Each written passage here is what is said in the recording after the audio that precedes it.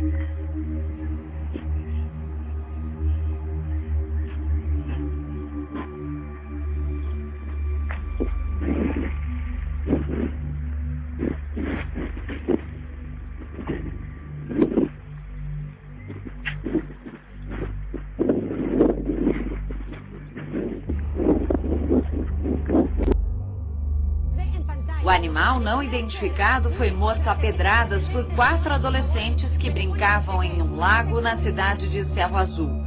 Eles viram a criatura de um metro e meio saindo de uma gruta e ficaram com medo de ser atacados. A notícia logo correu ao vilarejo e a população ficou assustada com a aparição do animal, que já está sendo chamado de ET do Panamá.